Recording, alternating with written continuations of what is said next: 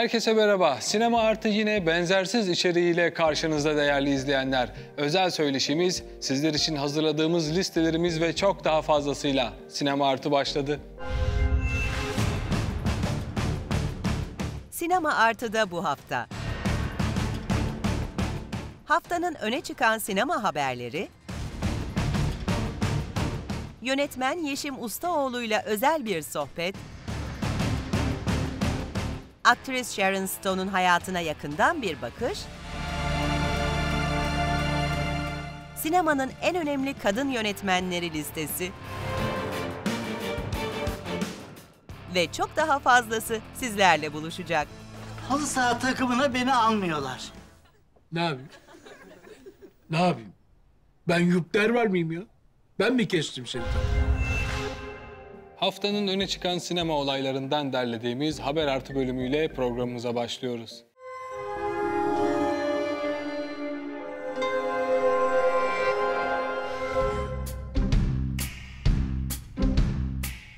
Avrupa'da yılın ilk büyük film festivali olan Berlin Film Festivali ödülleri sahiplerini buldu.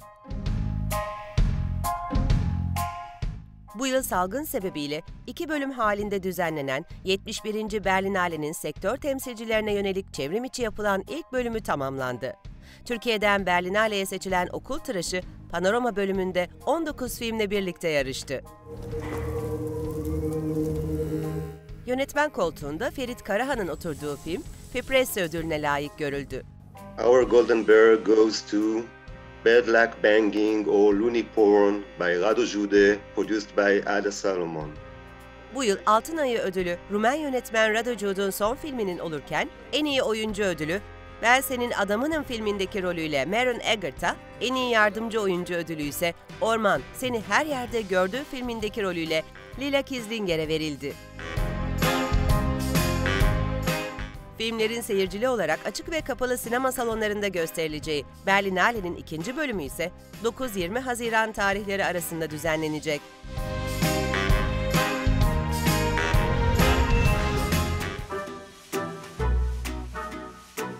İspanya'nın en önemli sinema ödülleri olan Goya ödüllerinde kazananlar belli oldu. Malaga'da canlı olarak düzenlenen töreni bu yıl Malaga doğumlu Antonio Banderas yönetti ve İspanyol gazeteci Maria Casado ile birlikte sundu. Pilar Palomero'nun gençlik draması The Girls, en iyi film ve en iyi senaryo dallarında Goya ödüllerinin sahibi olurken, Netflix filmi adıyla en iyi yönetmen ödülüne Salvador Calva layık görüldü.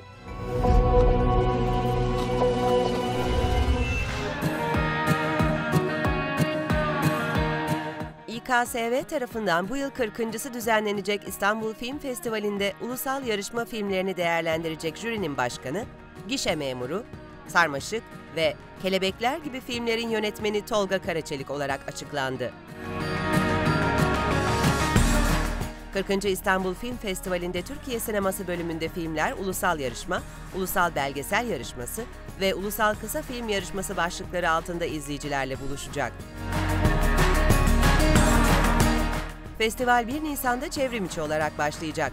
Haziran ayındaysa festivalin yarışmalı bölümleriyle sinemalarda, açık hava mekanlarında ve yine çevrim içi olarak izleyiciyle buluşacak.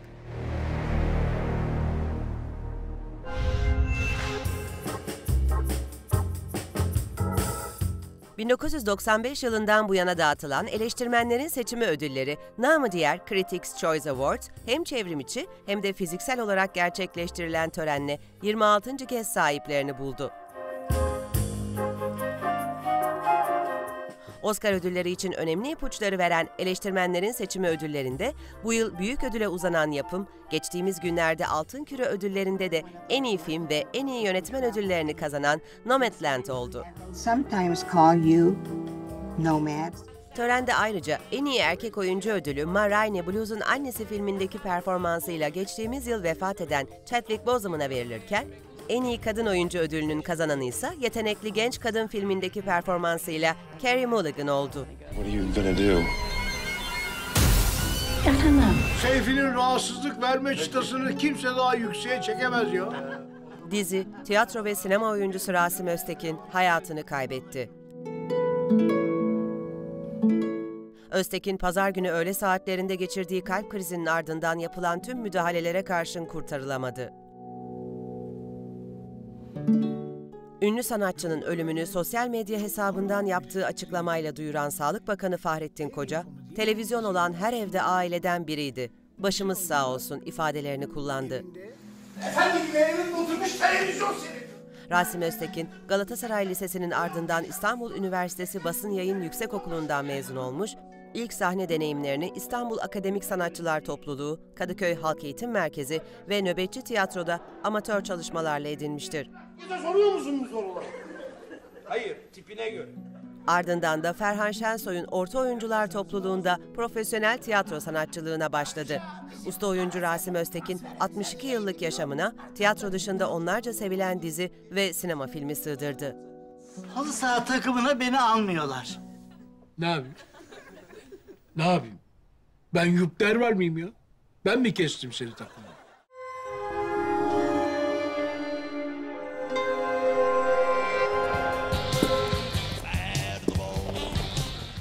Aktör Arnold Schwarzenegger'ın Terminator 2 Kıyamet Günü filmindeki replikleri toplamda 700 kelimeden oluşur. Usta aktör filmde kullandığı her bir kelime için 21.420 dolar para almıştır. Hasta la vista, baby.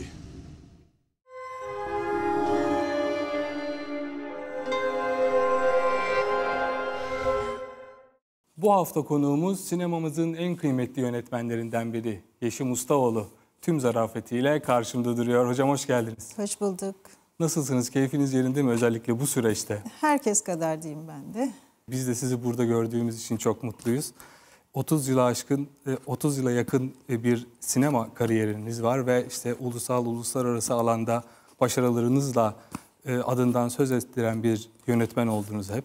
Ben hikayenin biraz başına gelmek istiyorum. Mimarlık okurken sinemaya yöneldiniz ve işte ilk kısa filminizi çektiniz.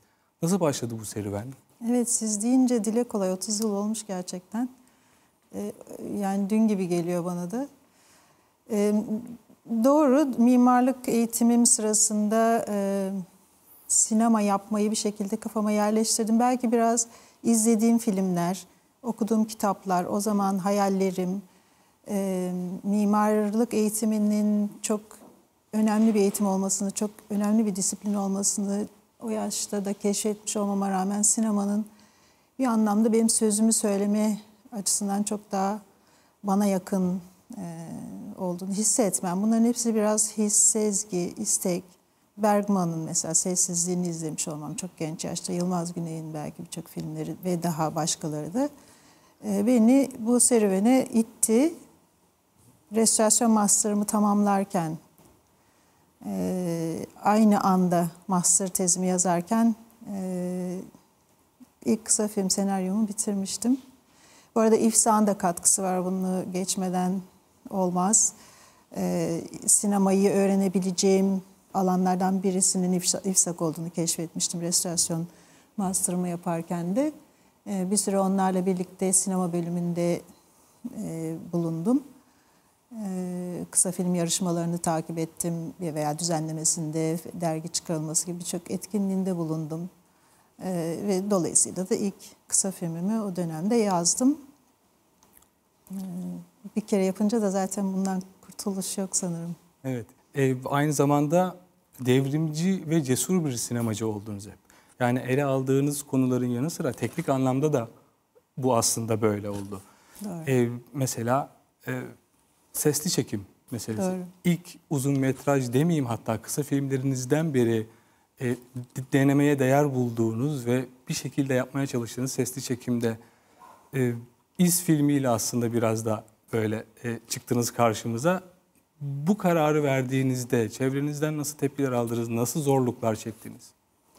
İlk kısa filmimi bir anı yakalamayı çekerken evet ben de o zaman tabii ki çok çok tecrübesizdim. Her şeyi öğreniyordum. Ee, Uğur İçban mesela bu anlamda müthiş. Diğer arkadaşlarımın da katkısı var. Ee, evet görüntüyü, kamerayı, lensleri öğrenebilirsiniz nasıl bakacağınız ama sesi nasıl duyacağını, nasıl işitmeniz gerektiğini ilk kısa filmimde henüz bilmiyordum. Acısını da çektim. Kendi kendim ben de oynamıştım Sevgili Ara Güler'le Demet Ongan ve ben üçümüz birlikte oynamıştık. Ee, sonra kendi kendimizi seslendirirken yani dublaja gittiğimde bu işin yarısını zaten öldürmüş olduğumu, yarısının olmadığını daha ilk kısa filmimde keşfettim ve ikinci kısa filmimde Magna Fantagna'ya başlarken ben sesli çekime başladım. Ee, izle değil. Ee, tabii kendi dünyamızda e, yaptığımız işlerde henüz sektörün bundan pek bir haberi olmuyordu ama sesçi bulmak, e, gerçekten sesi anlamak e, büyük bir büyük bir e, alan ve bence imgenin yarısı görüntü ne kadar önemliyse ses de o kadar önemli. E, gördüğümüz şeyi aynı şekilde de işitebiliyorsak onunla temas edebiliyoruz. İzle başlarken yalnız e, çekeceğimi e, üstelik büyük bütçeli bir film de değil. birkaç haftada çekmemiz gerekiyor. Sesli çekeceğimi dile getirdiğimde bütün sektörün çok telaşlandığını, bu işin bitmeyeceğini, e, bitiremeyeceğimi söylemişti. İlk uzun metraj olabil- Türkiye sinemasının ilk uzun metrajlı filmi sanırım. Çok önemli bir şey Kısalarım da söylüyorsunuz. belki. Bu arada gerçekten E, çok Evet onu e, söylüyorum. Çığır açtığımı söylüyorum. Kısalarla başladı aslında ama tarihi önemi olan çok önemli bir şey söylediğimin farkındayım ben de. Fakat biz tam çekim planı içinde kaldık. Ben de sektöre şunu öğretmeye çalıştım. Bütün çalışan arkadaşlarıma da e, full konsantrasyon ve daha iyi çekim yapabilmek istiyorsanız zaten rolünüzü kavramanız sesiyle, bütünüyle yani bütünlüğüyle siz oradasınız. Ee, o zaman daha çok daha kolay olabiliyor aslında. Şimdi sanırım gençler böyle bir şey düşünmüyor bile artık. Evet, filmografinizde e, öyle bir e, özellik daha çıkıyor ki karşımıza karakter analizleriniz. Çok ustaca çıkıyor gerçekten karşımıza. Mesela bir filminizdeki karakter bir diğer filminizdeki karakteri doğurabiliyor aslında. Böyle bir sürekliliği var. Yani somut olarak sorsam Araf e, filminizde e, ki bir karakterden aldığınız ilhamla Tereddüt filminizde e, yarattığınız bir karakter oldu mu mesela? Oldu diyebilirim. Güzel bir soru. Evet, analiz yani karakteri iyi anlamak, çok çok iyi kavramak, e, sanki yanı başınızda sizinle yaşayan biriymiş gibi onunla hemhal olmak bence çok önemli. Zaten bunu yapamazsanız stereotip, e, çok klişe karakterlerle ya da bir olay örgüsünün içinde e, gezinip durursunuz. Halbuki ben karakterlerin dünyaların içinde gezinmeyi tercih ettim. Onları kavramayı tercih ettim. Doğru. E, yani Araf Pandora'nın kutusunun içinden çıkmıştı. Bütün o benzin istasyonu yani yol boyunca giderken e, gelip gidişlerimizde mekanlarımıza benim bir benzin istasyonunda konakladığımız bir an Zehra'ya çok benzer bir genç kızla karşılaşmam e, onun e, o sıradaki 24 saatlik vardiyasını tamamlarken ki yorgunluğu, hayalleri bir küçücük bir temasım Araf'ı yaratmıştı çoktan. Ama e, Zehra'nın yaşadıkları, içinden çıkmaya çalıştığı hayatı kavramaya çalışırken özellikle terapi sahnesinde çekerken sanki böyle elmasla beni çağırmaya çalışıyormuş gibi e, hissettiğimi kendi kendime de itiraf ederim. E, elmas da zaten Şehnaz'ı yarattı. Sonrasında birlikte hareket ettiler. Evet gerçekten de böyle bir sürekliliği olduğunu e, sizin de bu söylediklerinizden anlıyorum. Hocam e, otör bir yönetmen olmak için çok iyi analiz etmek mi gerekir sizce? Yani siz karakterlerinizi muhtemelen işte temas ettiğiniz insanlardan, hayatın içinden insanlardan çıkardığınız için soruyorum bu soruyu. Gözlem yeteneğinizle ilgili mi ya da sürekli o gözleminiz e, sinemadaki karakterleri çıkarmanızı mı besliyor? Otör olmak demek e, yaratıcı yönetmen, yaratabilmek, e, özgün yaratımı sağlayabilmek, yazabilmek, görsel imgeyi yaratabilmek aynı zamanda sinematografik açıdan kendinize özgü sadece sizin dediğiniz bir üslubu dili oluşturabilmeniz demek, e, e, yazdığınız metnin yani senaryonun özgünlüğü demek. E, dolayısıyla bu bana göre olan, benim dilim, benim bakış açım, benim üslubumu bütünlüklü olarak bütün filmlerimde gördüğünüz andan itibaren böyle dersiniz. Bir- Diğer bütün e, otör yönetmenler için de söylüyorum bunu. E, ama dediğinizi kabul edebilirim. Yani karakteri çok iyi kavramak, biraz önce de değindik, karakter analizini çok iyi yapabilmek, e, iyi gözlemlemek, e, veya kendinizden de çok iyi yola çıkabilmek, kendi nevrozlarınızdan da, kendi imgelerinizden de yola çıkabilmek benim sinemamı e, oluşturduğunu söyleyebiliriz belki. Evet tabii e, bir taraftan da anlatım dilinizdeki bir başka başlık da imgeler. Evet, İlk aklıma gelen su oluyor mesela. evet. E, sizin gözünüzden imgeler sinemanızı nasıl şekillendirir?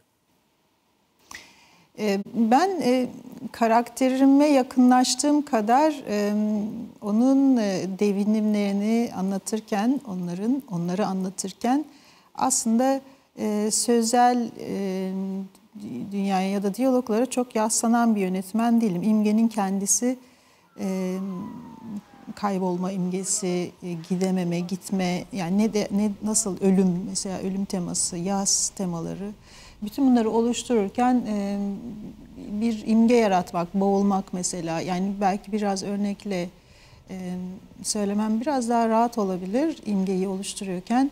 E, mesela tereddütten demin bahsettiğiniz için hemen aklıma geliyor. E, e, çünkü çağrışımlar yaratabilmek baktığınız zaman bir filmi izlerken çok daha yoğunluklu bizim düşünce, e, düşünme kapasitemizi de arttırıyor. Yani izleyici açısından bakıyorum.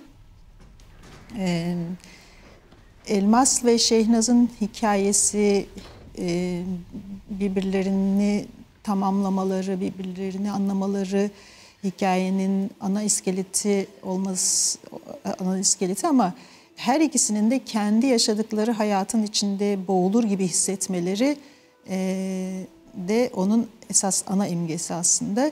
Dolayısıyla mesela bu boğulma imgesinin kendisi e, ile filmi başlatmak, suyun içinde başlamak, suyun içine kamerayı yerleştirerek başlamak mesela boğulmayı e, daha ilk etapta seyirciye hissettirmek gibi e, belki bu tür e, bunları yaratmayı çok seviyorum ve o zaman da çok da fazla ben çok boğuluyorum, sıkılıyorum demeye ihtiyaç duymuyorum e, karakterlerim tarafından. Evet o su aynı zamanda e, bir taraftan işte boğulma hissiyatını bizlere hissettirirken diğer taraftan da bir ferahlık özgürleş yani başka imgeleri de taşıyor tabii. Yani Evet. bir tek yere tıkıştır. Yani bir yandan özgürleşme, e, e, e, sakinleşme, huzur hissetme birçok e, tereddütte birçok anlamı var. E, uğurlama, yazla bütünleşme gibi birçok hiç farklı yerlerde farklı filmlerimde evet yani böyle dediğinizde şimdi ben de fark ediyorum tabii ki e, seyircimin de fark ettiğini biliyorum ama yani mesela Güneşe Yolculuk da suyla başlar ve suyla biter. Evet. Evet kesinlikle. Tabii e, Tereddüt de son filminizdi ve aslında biz bir yeni bir Yeşim Ustaoğlu filmini de özledik doğrusu. Tabii araya bir pandemi gerçeği girdi ve şu anda da onu yaşıyoruz. Küresel anlamda sinema çok etkilendi. Peki sizin sinemanız nasıl etkilendi bu dönemde? Ben de etkilendim diyebilirim. Arta kalanı yazmaya başlamıştım. Ee, ama arta kalanı yazma sürecimde e, biraz daha e, durmayı, e, biraz daha düşünmeyi denemem, yazım sürecini e, yeniden revize etmem açısından çok düşündürücü bir süreç olduğunu söyleyebilirim. Evet tabii aynı zamanda bu dönemde de yani pandemi sürecinde de dijital platformlar hayatımıza iyice yakınlaştı. Siz yakın geleceği nasıl görüyorsunuz? Mesela sinema salonları asla kazanamayacağı bir rekabete mi girecek dijital platformlarla? Yakın gelecekteki sinemayı, salon izleyicisini, beyaz perdeyi nasıl görüyorsunuz? Bence de henüz çok belirsiz bir süreç. Ee, sinemalar aynı iş- ihtişamıyla geri dönecek mi? Seyircinin e, tepkisi nasıl olacak geriye dönmek açısından e, sinema salonlarına? Hmm, O, o eski sinemalarımızı öze, özleyeceğiz belki ama e, ama bu süreç yani pandemiden önce de hızla değişmeye başlamıştı aslında online veya dijital platformların varlığı pandemiden çok daha önce başlamıştı bizi etkilemeye. Direkt dijital dünyanın içine doğan yeni kuşak, yeni gelecek olan kuşakların şimdi e, ben üretim açısından da ya da yaratım açısından da düşünüyorum. Yani sadece nasıl tükettiğimiz değil, nasıl üreteceğimizi de etkileyeceğini düşünüyorum. Yani bugün büyüyen bir çocuk bir tabletten film izlemeye alışırsa sadece e, bırakın televizyonu da daha büyük ekranı belki tablete kadar düşen ve çok hızla izlenen, tüketilen bir mecraya bakarken e, düşünme mekanizmasını veya yaratma mekanizmasını nasıl etkileyeceğini düşünmek de ayrı bir soru olabilir. Kesinlikle Ortaya öyle. atılacak. Evet özellikle e, şu dönem için e, söylüyorum ben de Yeşim yeni bir Yeşim Ustaoğlu filmi salon izleyicisi için de güzel bir moral olurdu e, açıkçası. Evet. Peki yeni e, projenizde, yeni hikayenizde bizi nasıl bir serüven bekliyor? Kısaca anlatır mısınız ya da sadece ne hikayesi olduğunu öğrenelim mi sizin? Şu- Çok çok erken yani ba- bahsetmekten imtina edebilirim ama arta kalan ismini verdim. Ee, bir yol hikayesi yine. Keşif, yol, kendini arama hikayesi diyebilirim şimdilik. Harika. Peki hocam çok teşekkür ederim bu bölüm için. Sohbetimize bir virgül koyalım sonra hızlı sorularla tekrar burada olalım olur mu? Dünyaca ünlü yıldız oyuncu Sharon Stone bu hafta doğum gününü kutluyor. Biz de kendisini yakın plan bölümümüzde ağırlıyoruz.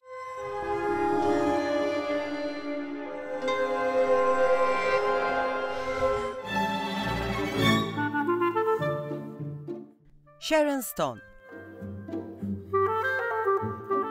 Bu hafta doğum günü münasebetiyle andığımız Sharon Von Stone, Mart 1958'de ev hanımı bir anne ile fabrika işçisi bir babanın kızı olarak Pensilvanya'nın küçük bir kasabasında dünyaya gelir. Zeki bir öğrenci olan ve 15 yaşında liseden mezun olan Sharon, Pensilvanya Eyalet Üniversitesi'nde yaratıcı yazarlık ve güzel sanatlar okur. 154 IQ puanına sahip olan Yıldız, hemen her bölümde okuyacak kadar yüksek bir zekaya sahip olmasına rağmen, ilk aşkı olan siyah beyaz filmler uğruna sinemada bir kariyer yapmayı tercih eder. Sharon Stone 17 yaşında katıldığı yerel bir güzellik yarışmasını kazanarak gösteri dünyasına adım atar. New York'ta başladığı modelliğe, Milano ve Paris'te yaşadığı bir yılın ardından son veren Stone, oyunculuk yapma kararıyla Birleşik Devletlere geri döner.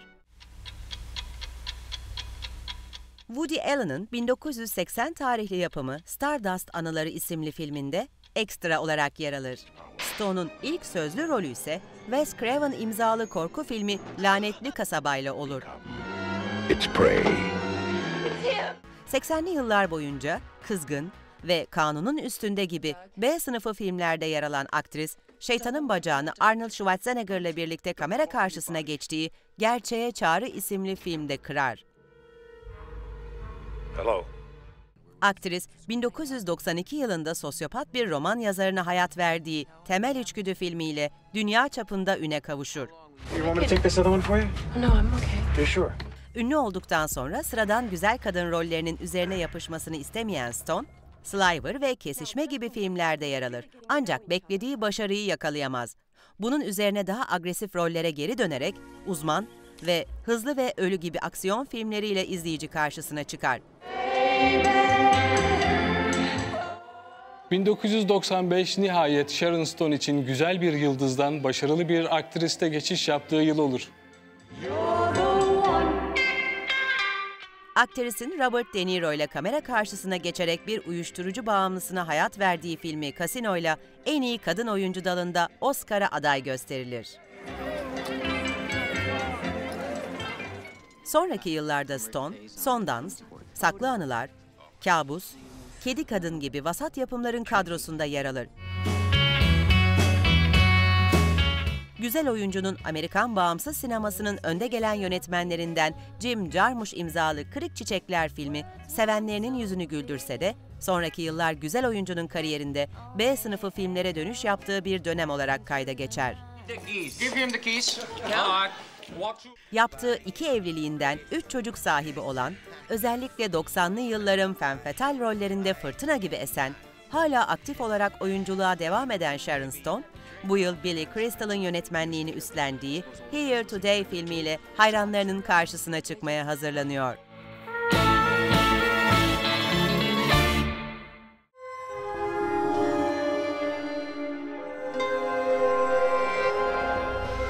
God and Lisa.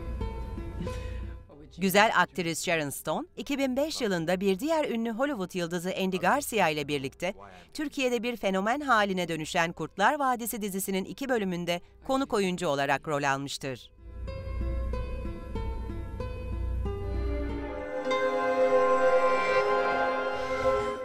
Yeşim Ustaoğlu'yla sohbetimize hızlı sorularla devam ediyoruz değerli izleyenler.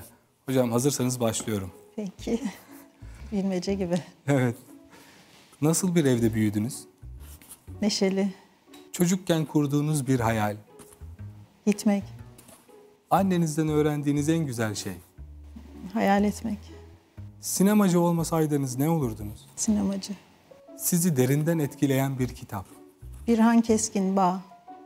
Mimari açıdan en beğendiğiniz şehir? Hala İstanbul. 80'ler mi 90'lar mı? 80'ler. Hayır 90'lar. İtiraz ettim kendime. Peki 90'lar. 90'lara ait en çok özlediğiniz şey? Aslında hala sinema. Sette nasıl bir yönetmensiniz? Çok sakin. Dünyanın 8. harikasını size seçtirseler Ayasofya. nasıl insanlarla anlaşamazsınız? Agresif. Ben yönetseydim dediğiniz bir film. Yine sessizlik. İlham aldığınız bir yönetmen. Bergman, Yılmaz Güney, Tarkovski, İhale. Kötünün iyisi mi, iyinin kötüsü mü? İkisi de değil. Hayatınızı anlatacak bir filmde kimin başrol oynamasını isterdiniz? Bunu yapmak çok zor olurdu. Hayatınızın dönüm noktası. Film yapmaya başlamak. Avrupa sineması mı, uzak doğu sineması mı? İkisini de ayrı ayrı severim. Yaş ilerledikçe katlanılması daha zor olan bir şey. İlerlemeye devam etmesi. Dünya sinema tarihinde neyin öncüsü olmak isterdiniz? Sanırım yeterince önce oldum. Sizce yeryüzündeki en büyük gizem? Ölüm. Kariyeriniz boyunca mücadele ettiğiniz bir mesele, İnsanı anlatmak, ruhunuzu besleyen bir şey.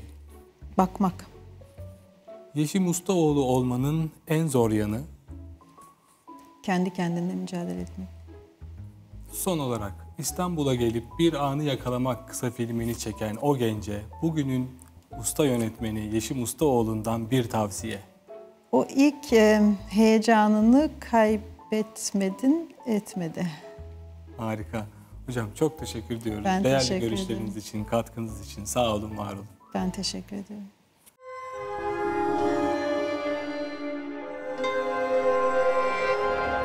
Woodruff, we estimate that you have 2013 yılında Jean-Marc Vallée tarafından düşük bütçelerle çekilen Sınırsızlar Kulübü filminin makyaj bütçesi sadece 250 dolardır. It doesn't work that way, Mr. Woodruff. Buna rağmen film 2014 yılında en iyi saç ve makyaj tasarımı Oscar'ını kazanmayı başarmıştır. We're very blessed. Thank you.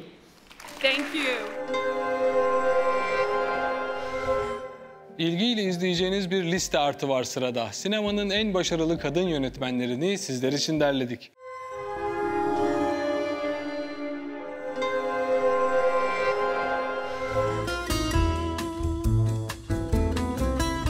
Beyaz Perde'de milyonları kendine hayran bırakan kadın yıldızlara hepimiz aşinayız. Peki ya kamera arkasındaki kadın kahramanlar? Bu hafta sinemanın en önemli kadın yönetmenlerini sizler için derledik.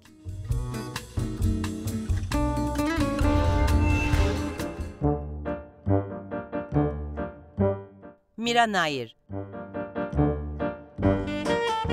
Harvard Üniversitesi'nde eğitim gören Hindistanlı yönetmen Mira Nair, beyaz perdeye oyunculukla adım atsa da kısa süre sonra kariyerini yönetmen olarak sürdürmeye karar verir. Mississippi Masala ve Selam Bombay filmleriyle Venedik ve Cannes Film Festivallerinde ödüller kazanan Nair'in en ünlü filmi 2001 yapımı Muson Düğünü. Venedik Film Festivali'nde aldığı Altın Aslan ödülüyle bu ödülü kazanan ilk kadın yönetmen olarak tarihe geçer. Mira Nair listemizin 10. sırasında.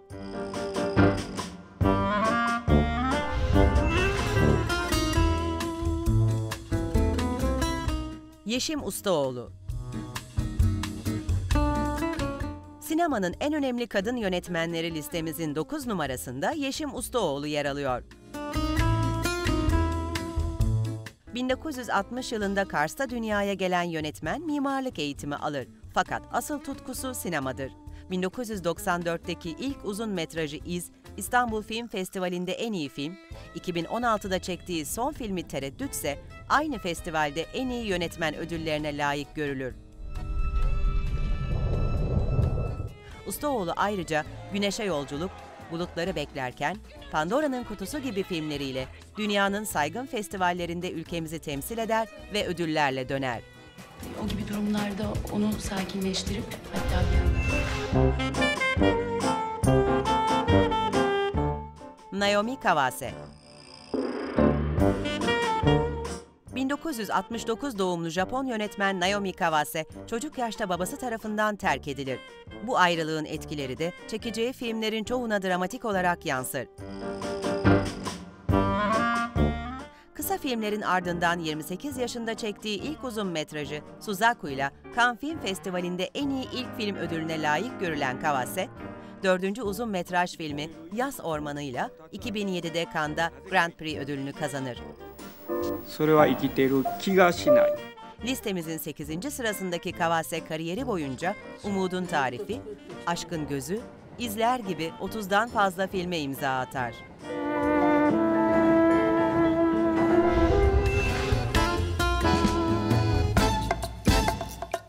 Alice Gibilashi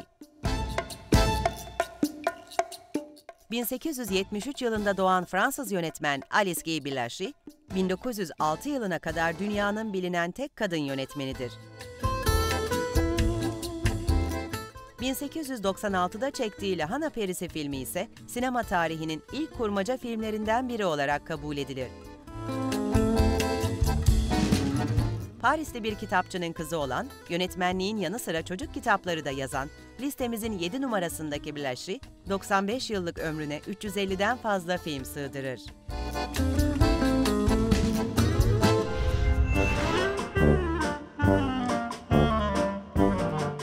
Anya Brain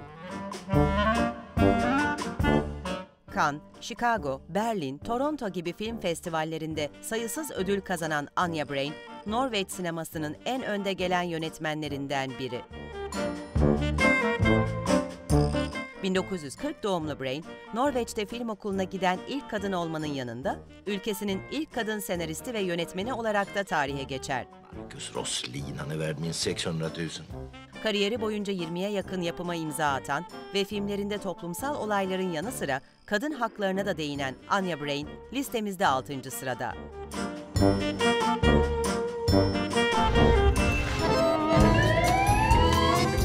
مش افضل لو بخط السنتين Nadine Labaki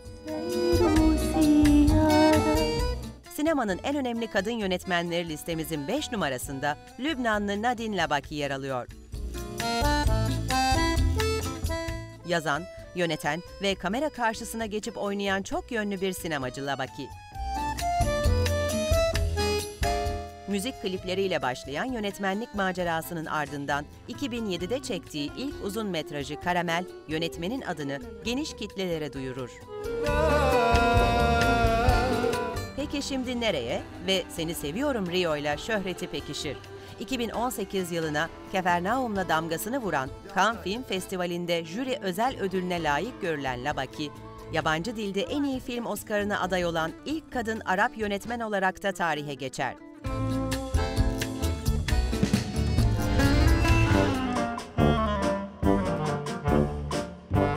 Catherine Bigelow Savaş, aksiyon, bilim kurgu. İşte Catherine Bigelow'un sinema evreni. Kolombiya Üniversitesi'nden sinema eğitimi alan 1951 doğumlu Amerikalı yönetmen, 1981'de ilk uzun metrajı Sevgisizleri çeker. 2009'da imza attığı Ölümcül Tuzaksa, 82. Akademi Ödülleri'nde en iyi film ve en iyi yönetmen dahil 6 dalda Oscar kazanır. En iyi yönetmen Oscar'ını kazanan ilk kadın olarak sinema tarihindeki yerini alan listemizin dördüncü sırasındaki Big Love, Kırılma Noktası, Tuhaf Günler, Karanlık Bastığında gibi başarılı filmlere imza atar.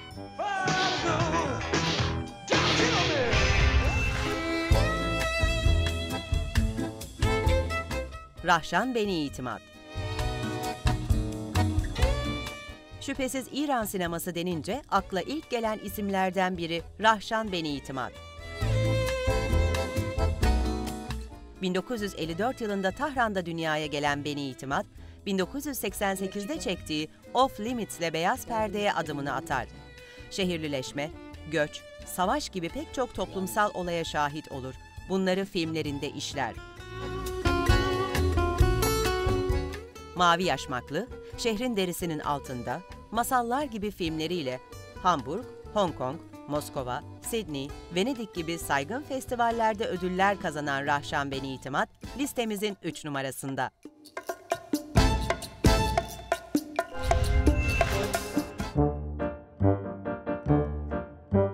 Claire Denis Çağdaş Fransız sinemasının en önemli yönetmenlerinden kabul edilen Claire Denis, 1948'de Paris'te doğar. Non, petit.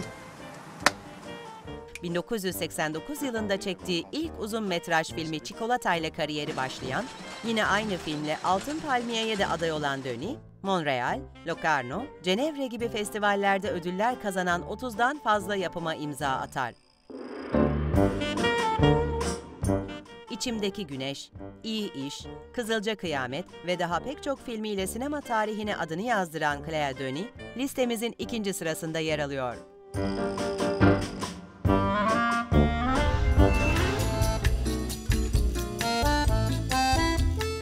Agnes Varda Sinemanın en önemli kadın yönetmenleri listemizin bir numarası Agnes Varda. Fransız yeni dalga akımının büyük annesi olarak anılan Vada, Anadolu'dan göçmüş Yunan bir baba ve Fransız bir annenin kızı olarak 1928'de Belçika'da doğar. 1955 yılında yönettiği Paralel Yaşamlar, Yeni Dalga'nın ilk filmi olarak kabul edilir. 2019'daki vefatına kadar Cleo 5'ten 7'ye, Toplayıcılar, Mutluluk gibi yapımların da aralarında bulunduğu 40'tan fazla filme imza atan usta yönetmen, 1985'te çektiği Yersiz Yurtsuz'la Venedik Film Festivali'nde Altın Aslan ödülüne layık görülmüştür.